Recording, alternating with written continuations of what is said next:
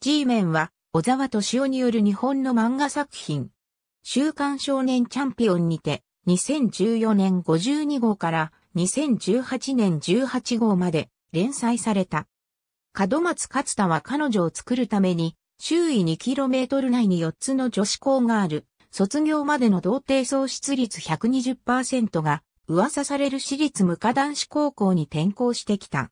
しかし、勝田の配属された G 組は学校内のバカ、オタク、問題児を集めたクラスで制服も他の生徒と異なり、周囲の女子校からも相手にされないのだった。以前は名の知れたヤンキー校だったが周囲に女子校が新設されるごとに入学希望者が増えていった。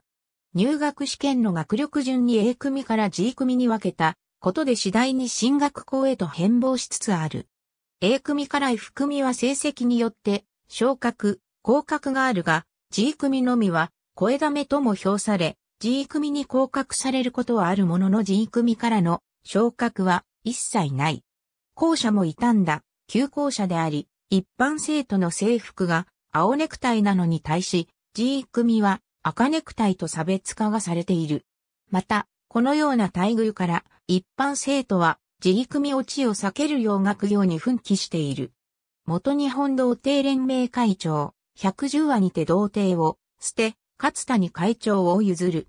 無科男子高校の不良が集まる G 組の中で最強のグループ。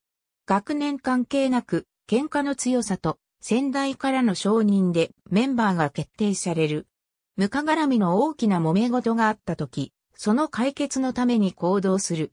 しかし昨今は、無化の周りに女子校ができたことで他校との喧嘩が減ったためその存在感は薄れつつあり半ばとし伝説化している。六条陸松戸にある喧嘩チーム。無化に転校する前の勝田も過去に所属していた。メンバーの竹内がヤクザ絡みの仕事を持ち込むようになり、近年は反グレ化している。現在の所属メンバーは5人だが、春と国旗以外の3人の名前は本編中では明かされていない。カラスマ春カラスマカナ。ありがとうございます。